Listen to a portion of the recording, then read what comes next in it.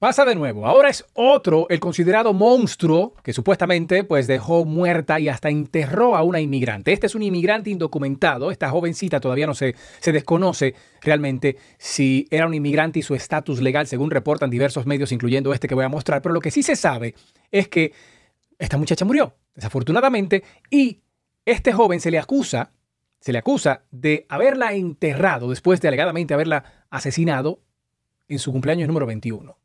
Se reporta que la conoció toda la vida y celebraron el cumpleaños número 21 de ella juntos y luego se reporta y se le acusa de haberla enterrado luego de que le quitó la vida a esta jovencita. Voy a compartir pantalla. Aquí dice, Illegal migrant suffocated Syracuse woman, 21, hit known since childhood. Dice que este inmigrante, yo le digo indocumentado, este diario obviamente le llama ilegal. Podríamos debatir eso, pero ese no es el tema de ahora.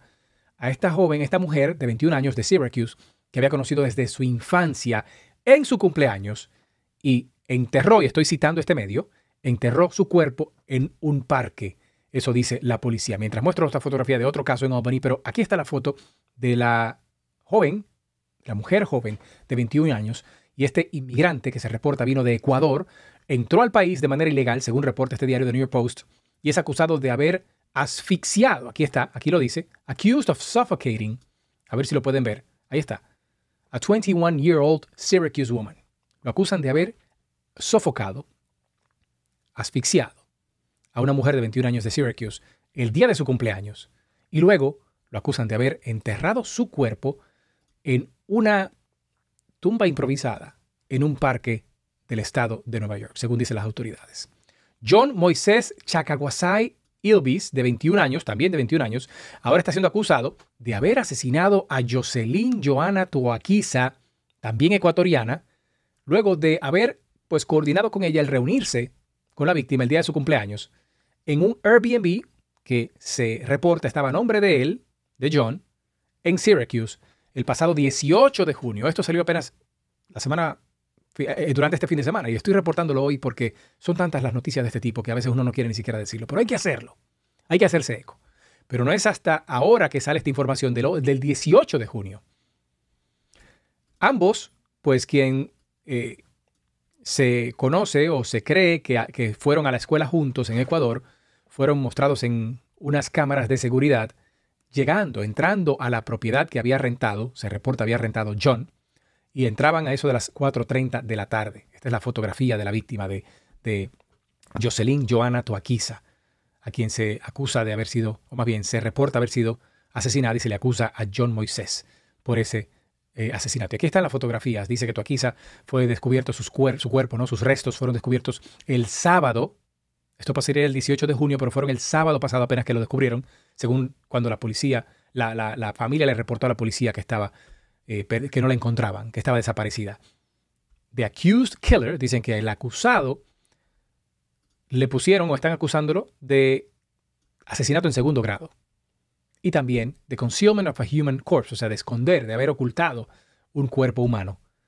Cargos que obviamente lo, les impusieron, le impusieron a este joven luego de que se entregara a la policía martes por la noche. Aquí está la fotografía de él, de quien se alega es John, se, se presume es John, Moisés Chacaguasay, de 21 años, cuando estaba en la propiedad del Airbnb. Ahí está saliendo solo. Ellos, hay una fotografía por aquí que no sé si la, si la tienen en el diario. Ellos entrando. Aquí está la fotografía. Ellos entrando.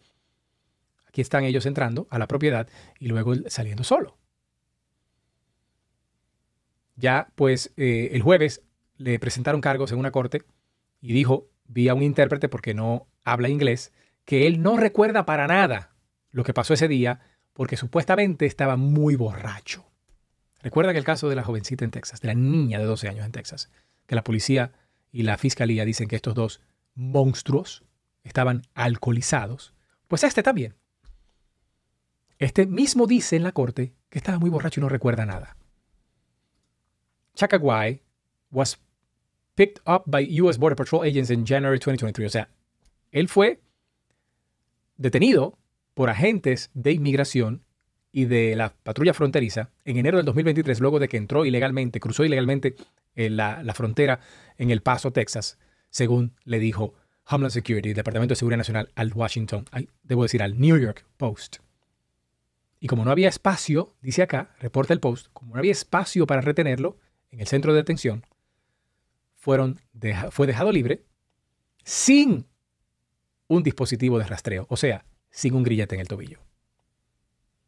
Reporta el post. No sé hasta qué punto sea cierto, pero es lo que está reportando The New York Post.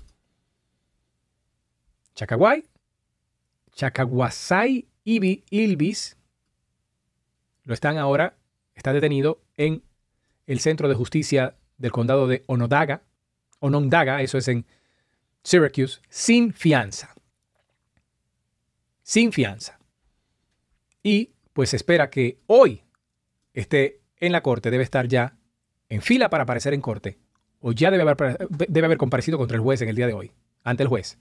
Y todavía no ha salido ningún reporte de cuál ha sido el resultado de esa aparición en corte en Onondaga County Justice Center. Hasta ahora no han dado ningún tipo de información.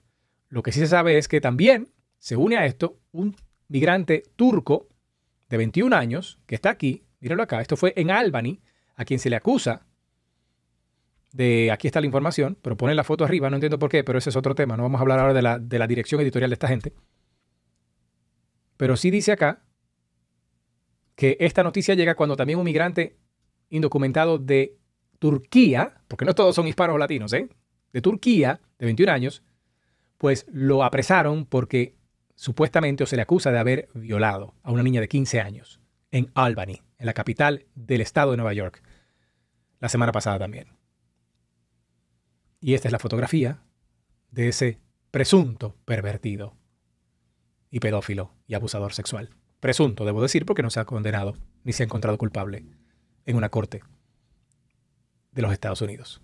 ¿Por qué estamos haciendo esto?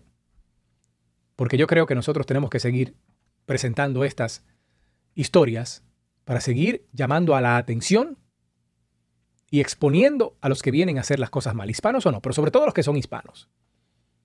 ¿Por qué? Porque tenemos nosotros que poner el ejemplo de hacer las cosas bien. Y los que no, hay que tirarlos para adelante para que las autoridades hagan lo propio.